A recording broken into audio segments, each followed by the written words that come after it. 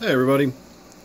I just want to shoot another quick video here of my brand new tank. This is my crayfish tank and it's about as close as I'm going to get to a native tank this summer most likely. We'll see. But in the meantime I've got it so I'm certainly going to utilize it for any lessons I can learn and any fun we can have and we should have lots of good video coming up uh, with this tank over the summer. I've already got some good drama going on with the crayfish that are in there uh, but we're going to get to that a little later.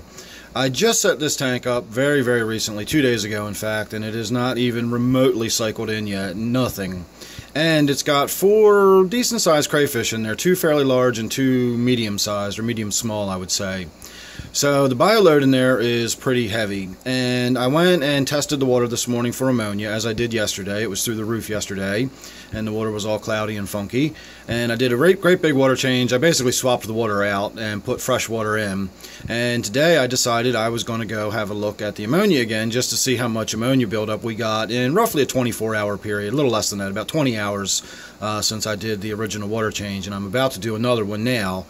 Um, and when I checked the ammonia, I just kind of had to laugh uh, to myself. I'm not worried about the cycle. This video is not going to be about the cycle or anything like that. Uh, I'm not concerned about where it is in its progress or how fast it's going to go or anything. The crayfish in there are tough as nails.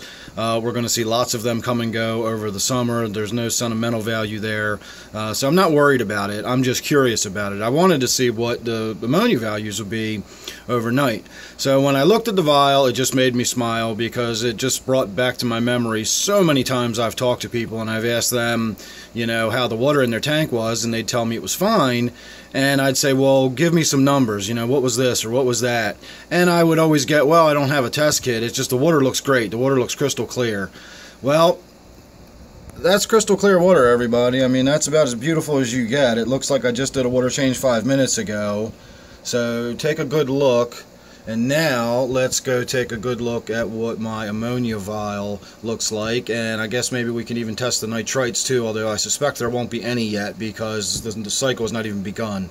So let's go look at the ammonia vial and then we will decide whether or not you can tell by looking whether or not your tank is in good shape or not.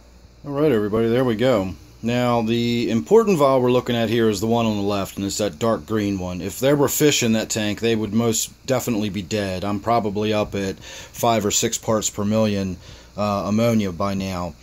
If the pH was low, like it is in my other tanks, uh, around 6.4, 6.5, that would not be so concerning. That ammonia would actually be bound up with an additional hydrogen ion and it would become ammonium and therefore harmless.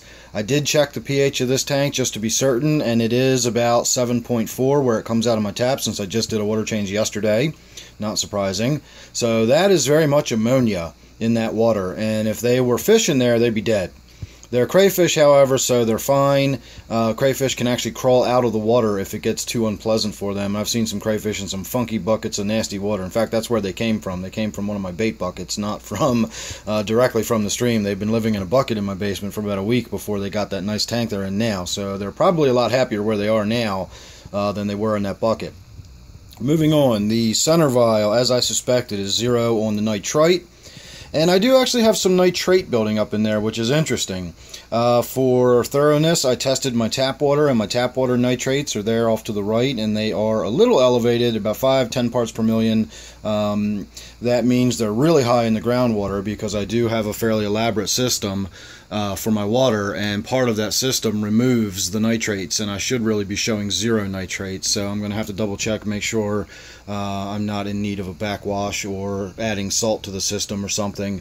Uh, I am getting a little bit of nitrates in my tap water, but no biggie. I definitely have more nitrates in the tank water than I do in my tap water, though, so that's interesting.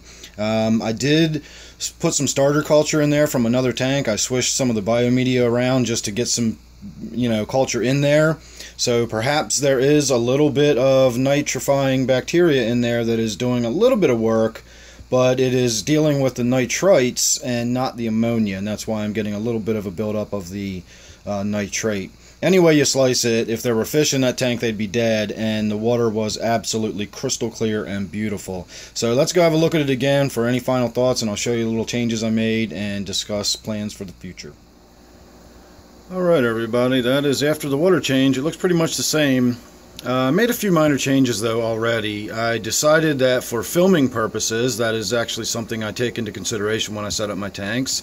I do a lot of video, I do a lot of photography of my tanks. Uh, on that note, if you don't follow me on Google Plus, go ahead and start following my Aquaria collection because I do a lot of photography of my animals as well. Um, so keeping that in mind, lighting is important for me. Uh, I will do a video about lighting in this tank for that very purpose, uh, for the purposes of videoing.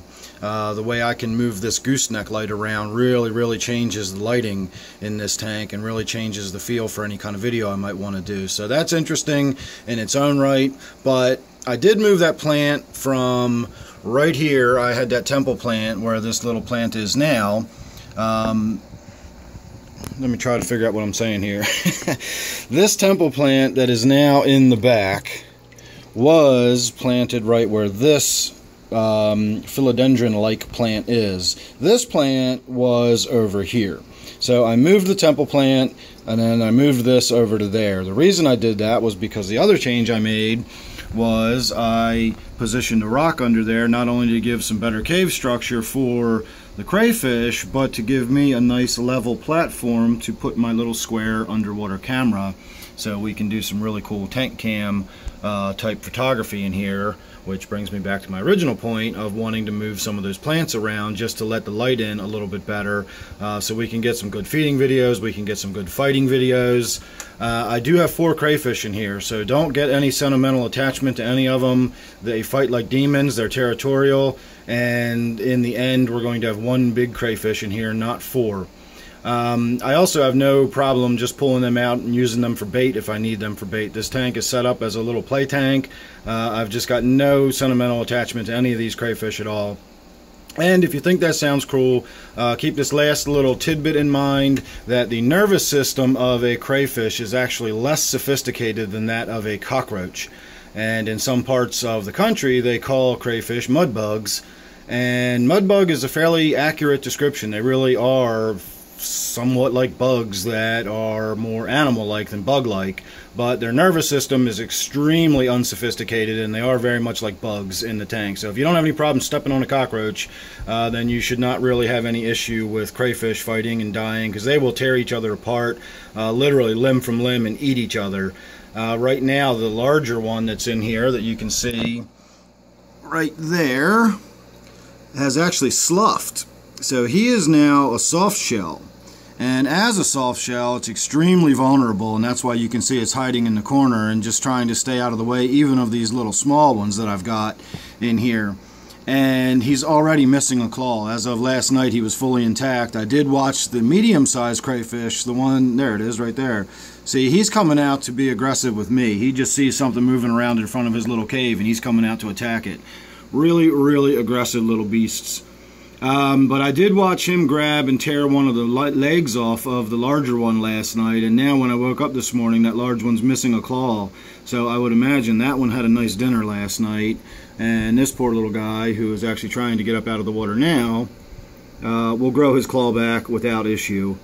So I've mentioned it before that they do actually climb up and out of the water quite often when I come in in the morning and turn the lights on. A lot of times they'll skitter and I'll, I'll hear splashing. They'll be sitting up on the rocks and they'll jump back into the water. Really, really interesting little animals.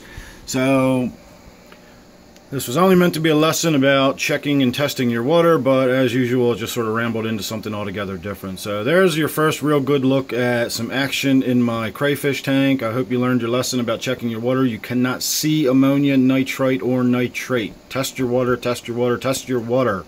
Alright everybody, thanks for watching. If you're not already subscribed, please do so. As you can imagine, there's lots of good stuff coming up. Lots of fun we're going to have with this tank over the summer. And I'll see you real soon on the next one.